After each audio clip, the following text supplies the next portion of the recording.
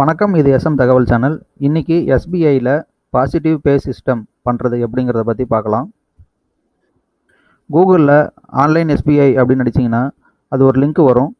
நான் அதில் காட்டியிருக்கேன். அதை கிளிக் பண்ணுங்கள் பர்சனல் பேங்கிங்கில் லாகினையும் அடுத்த பக்கத்தில் கண்டினியூ டு லாகினையும் கிளிக் பண்ணிங்கன்னா எஸ்பிஐ வெப்பேஜ் ஓப்பன் ஆகிடும் நம்மளுடைய யூசர் நேமு பாஸ்வேர்டு அதில் இருக்கிற கேப்சாவை கொடுத்துட்டு லாகினை கிளிக் பண்ணுங்கள் மொபைல் நம்பருக்கு வந்து ஓடிபியை கொடுத்துட்டு சப்மிட் பண்ணுங்கள் எஸ்பிஐ வெப்பேஜில் ரெக்வஸ்ட் அண்டு என்கொயரிஸ் அப்படின்னு இருக்கும். அதை கிளிக் பண்ணுங்கள் இதில் செக் புக் சர்வீசஸ் அப்படின்னு இருக்கும். அதை கிளிக் பண்ணுங்கள் பாசிட்டிவ் பே சிஸ்டம் அப்படின்னு வரும். அதை கிளிக் பண்ணுங்கள்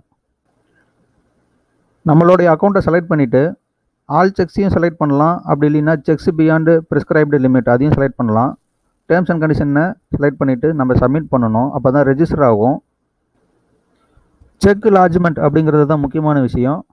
இதில் பாருங்கள் செக்கில் இருக்கிற டீட்டெயில்ஸ் எல்லாமே கொடுத்துருக்கேன். இதை எஸ்பிஐலேருந்து எடுத்தது தான்.